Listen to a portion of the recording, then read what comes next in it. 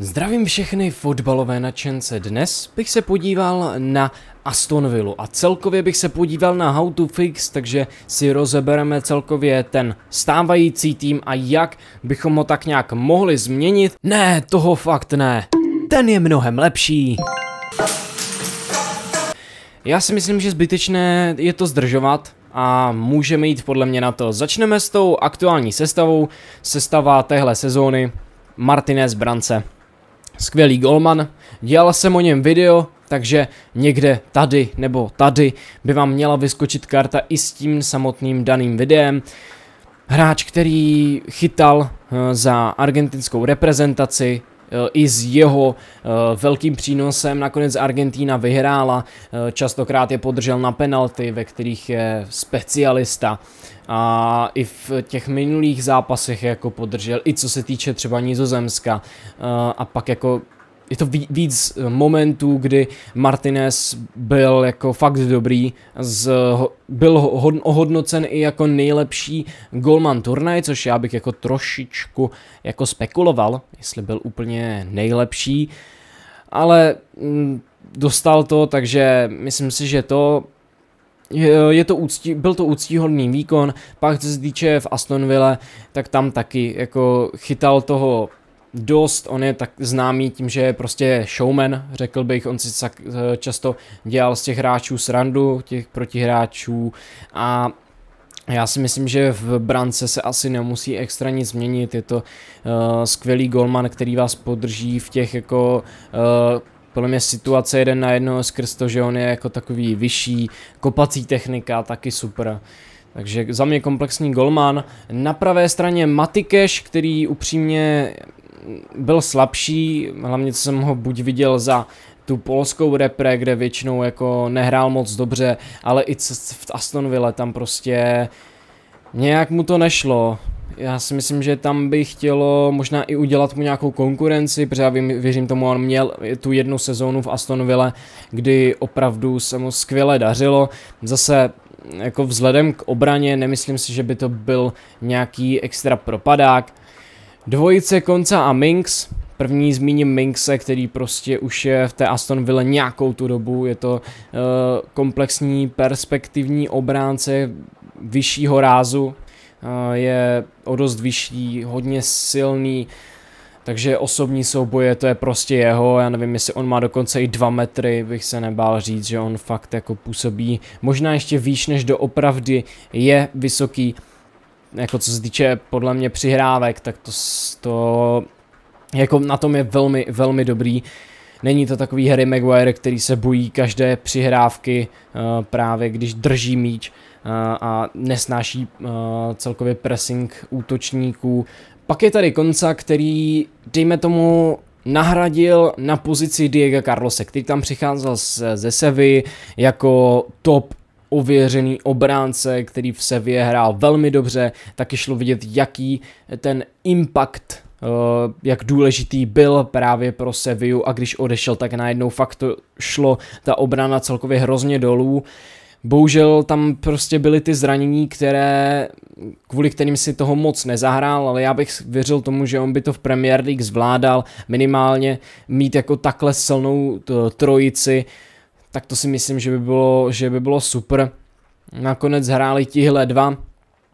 Na levé straně je tu Dýně, taky jako velmi, velmi dobrý obránce. On se častokrát jako vykupoval eh, z Evertonu, říkalo se, kdyby mohl odejít. Nakonec odešel do Aston Villa, což zprvu eh, bylo takové divné řešení, že zrovna Aston Villa, proč si vybral, že mohl jít klidně někam do lepšího týmu, nakonec postupem času s tím, eh, že Aston Villa se umístila na sedmé příčce, tak to zase tak špatný tak nebyl. Jde vidět, že na levé straně je dominantní a tam mu to vždycky sedělo. Hrál i samozřejmě v Barceloně, tam ten talent už byl nějakou tu dobu objeven, ale nehrál v nějakých jako extra top klubech. Teďka si myslím, že v Aston Villa i skrz to, jak se ten tým obměňuje, tak by mohl se stát uh, prostě hlavní postavou právě Aston Villa a celkově ten tým jako vypadá fakt, ale fakt našlapaně. Eh, směrem dopředu mě podle mě podle mě je směrem dopředu lepší než směrem dozadu, to bych tak nějak jako na něm vyzdvihnul, takový ofenzivnější levý back. Pak dvojice Kamara a Douglas Lewis. Nejprve začnu Douglasem Lewisem, který se prodával do Arsenalu. Opravdu tvrdá šestka, která jde vidět, že hodně chodí do posilovny, protože on byl jako namakaný, co se týče lítek, co se týče uh, rukou a tak dále, tak to je prostě jako mašina. To s ním osobní souboje opravdu nechcete jít. Je to možná ještě horší, než když si dáváte osobní souboj právě s Minksem. Takže jako skvělá šestka, skvěle na tom defenzivně, přihrávky taktéž jako celkem, celkem dobré, ne, neříkám, že by to byl, byla nějaká jako extra třída, ale ta defenzíva u něj prostě převládala. Naopak vedle něj Kamara, který podle mě až tak jako defenzivně silný není, přišel z Marseille za uh, nějakých dejme tomu, myslím, že šel zadarmo, pokud se nepletu, že Aston Villa ho získala zadarmo, takže jako skvělý kauf, ono Aston Villa moc do těch uh, přestupů jako nenasulila až právě na toho Diego Carlose, takže vedle něj tahle, tyhle jako dvě, double pivot, taková ta dvojí, dvojice š, eh, šestek a pak tam mají ofenzivního McGina, který to hodně naběhá, fakt jako, dejme tomu makač, Neřekl bych, že je to úplně typická desítka, to já bych si úplně nedovolil říct, protože mně to přijde taková jako osmič, osma půlka bych řekl, fakt prostě eh, makáč, který jako rozdával ty míče, eh, překvapivě i velmi dobrý, co se týče jako asistencí, takže to si myslím, že jako super, super výkon z McGina. Byla to ale taková, dejme tomu, náhradní pozice, protože moc uh, variant tam uh, na tu desítku nebylo. Remzy, když se o něm bavíme, se přesunul na tu levou stranu, jako samozřejmě oni se tam trošku jako budou střídat ty pozice. Remzy nebyl nikdy jako extra křídelník, ale v tom systému Aston Villa to fungovalo. Uh, Remzi je za mě jako, já jsem, já jsem o něm mluvil už víckrát a já jsem v něm vždycky, když jsem viděl ty zápasy hlavně ještě rok předtím, když hrál po boku Kutýňa, tak tam šlo vidět, že on má jako potenciál jako ty finální přihrávky, které měl velmi dobré, s Kutýněm tam navázal jako dobrou spolupráci, proto taky padalo hodně gólů, zároveň ten borec byl schopný dávat ty góly, takže to je jako na, dejme tomu, desítku taky velmi dobrý atribut, který se vám hodí. Takže přihrávky, uh, góly, pak jako co se týče osob, uh, on jako je silný, jako v osobních soubojích, takže síla taktéž dobrá. Není teda až tak rychlý, což ale za mě se pak jako na té desíce by se to kompenzovalo. A vrháme se na pravou stranu, kde máme Baileyho, který mě moc nebavil. Jako těch variant na té pravé straně bylo víc i spolu třeba s Buendiou. E, samozřejmě i Coutinho mohl nastoupit nalevo, napravo. Coutinho je taková typická desítka, Coutinho se tak nějak ale vytratil e, z toho nějakého profi fotbalu. Zase vidíme, že prostě tam jako ta forma šla dolů. Není to ten hráč to z toho minulého roku, a k Baileymu tam prostě se neprosadil na té pravé straně. Já si myslím, že u něj je největší problém, že pořádně jsme neviděli nějakou větší produktivitu, měl tam čtyři asistence, eh, pak mm, i co se týče Buendy, který tam jako často naskakoval, tak ten jako je schopný, a my jsme ho viděli v Norviči, že on byl schopný dávat góly, asi byl ta jedna z těch nejlepších postav. Takže to zbyli dva hráči, kteří se tam střídali, nebylo to ale nic podle mě, na čem by se dalo stavět.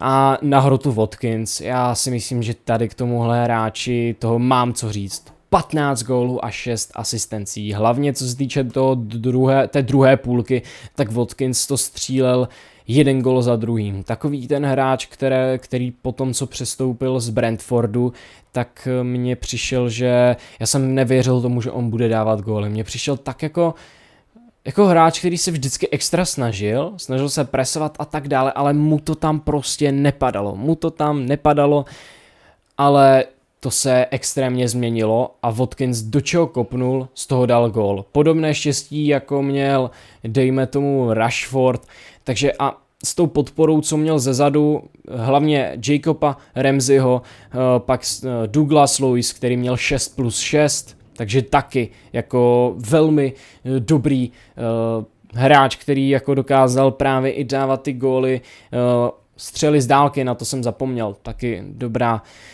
dobrá varianta a to s touhle podporou se Watkinsovi dařilo a samozřejmě i dokázal dát nějaké ty asistence. Měl tam 6 asistencí, takže taky jako velmi dobrý. No, ještě můžu zmínit Dannyho Inkse, který si tam jako na pár zápasů zahrál. Danny Inks prostě dokáže dávat ty góly, ale tady šlo vidět, že Watkins je trošku eh, na jiném levelu.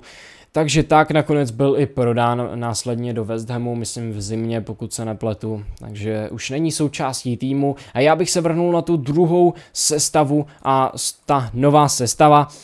Klasicky asi bych eh, přešel na jména, které jsou pro nás nové. Tilemans, nová posila, která přijde zadarmo, bojovali o něj kluby jako Arsenal, jako Chelsea, jako, hm, dejme tomu Liverpool, ten taky ho chtěl, a záložníků na pozici osmičky, takové spíš šest a půlky, moc, eh, moc jako ne, eh, jsme neviděli extra nějaký, nějakých takovýchhle jako hráčů, že chyběli hodně v týmech. Tilemans za mě vynikající, co se týče směrem jako těch přihrávek, takové ty až jako centry ze středu hřiště na křídla. Takové ty fakt dlou, dlouhonosné, ale dlouhonosné uh, centry, dlouhonosné přihrávky z té jeho pozice fakt tam posílal jako kolmice, což jako prostě Tilemans a i co se týče jako krátkých přihrávek, prostě nějaké jako rychlé přihrávky, tak v tom byl jako velmi dobrý, takže co se týče asistencí, tak super, uh, taky jako držení míče, jako uměl, uměl si ten míč podržet, ale v tomhle spíš exceloval uh, právě uh, Madison, který hrál vedle něj. Zase podle mě, kde má i trošku slabiny, tak je ta rychlost, kdy prostě on, prostě, on rychlý nikdy nebyl a asi ani nikdy nebude, což je jako problém uh, defenzivní práce, podle mě tam jako není úplně, úplně nejlepší a není to právě ani typická šestka, ani typická osmička. S tou leností si myslím, že i to byl důvod, proč ho nakonec Arsenal nekoupil, i když já jsem to vnímal jako zajímavá možnost v tu dobu. Ale jsem rád, že jsme ho teda nakonec nekoupili, že jsme důvěřovali právě práci Mikela Artety. Nalevo Barnes, asi už jako viděli jsme už dost sezon, kdy prostě Barnes hrál na levé straně takový ten uh, křídelník, který prostě ten typický, mě, mě, mě hodně jako uh, připomíná ten styl toho West Hamu. Fakt uh, prostě ten, který do toho bušil, ten, který se snažil o koncovku, uh, takový ten uh, taky ten fakt tvrdší v těch osobních soubojích dokázal přihrát. Uh, že fakt do stylu Vezdemu by se hodil. Extrémně, myslím si, že i právě Aston Villa hledá nějaké ty pozice právě levého a pravého křídelníka, kde Uh, nebyli až tak stabilní, nebyli až tak dobří. A myslím si, že co se týče koncovky a spolupráce s Watkinsem, tak si myslím, že Barnes by mohl, jak, právě jak měl i spolupráci s Vardym, tak to si myslím, že by mohlo dohromady fungovat.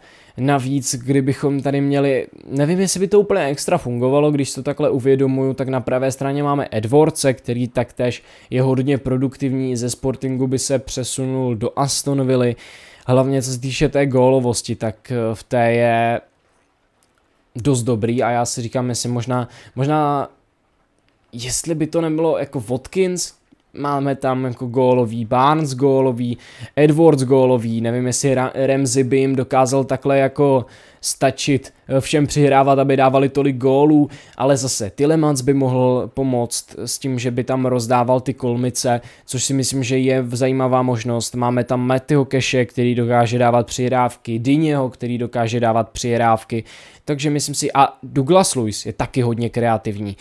Takže jako ta trojice těch záložníků plus uh, právě kdybychom měli vysunuté uh, ty pravé a levé obránce, tak si asi říkám, že by to mohlo fungovat. Otázka, jestli to není až moc ofenzivní, protože Douglas Lewis uh, jako jestli by byl typická šestka. Myslím si, že s tím hlavně je otázka, jako jak, by, jak by to zvládal vedle právě Tilemance, který def, defenzívou není moc jako prosnulý, jestli by to nebylo až moc otevřené skrz právě ty, ty obránce. A tak to by byly i celkově náhrady, já doufám, že se vám tohle video líbilo, pokud ano, budu rád za jakoukoliv podporu, like, odběr a můžete se podívat i na můj TikTok, kde vydávám videa a mějte se hezky a uživejte se den. Čau čau.